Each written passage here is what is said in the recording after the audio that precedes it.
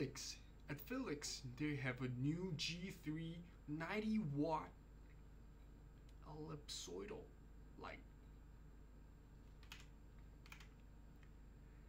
At Philips, they have a brand new ellips, ellipsoidal light. At Philips, they have a brand new ellipsoidal light uh, called G3, and it's a 90 watt ellipsoidal light. Uh,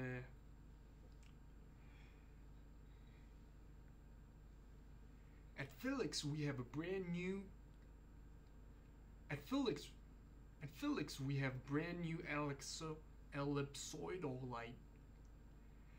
At Philips, we have a brand new ellipsoidal light called G3. It's a 90 watt RGBW light, and the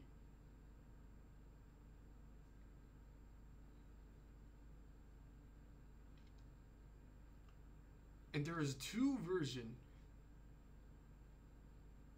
but like there is two version of this light. There is a regular that you can see the seal. but there's two version of this light. You can have a ellipsoidal attachment on there but you cannot detach the optics in front of your light.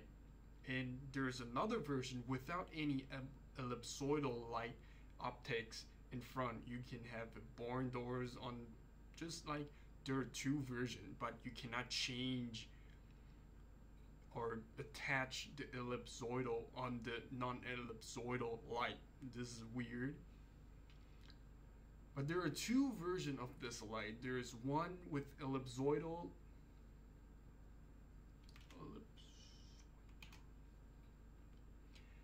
But there are two versions of this light. There one with ellipsoidal, the attachment, the optic attachment in front of there, but you cannot detach the ellipsoidal light, the optics in front of the ellipsoidal version, because I don't know. They just want to make two versions, and the, another version. But there are two versions of this light. One with the ellipsoidal in front of your light but you cannot detach the ellipsoidal. There are two versions of this light, one with ellipsoidal in front of your light, but you cannot detach the ellipsoidal. You can just change the beam angle of the optics, but you cannot take it apart, just take the ellipsoidal part apart.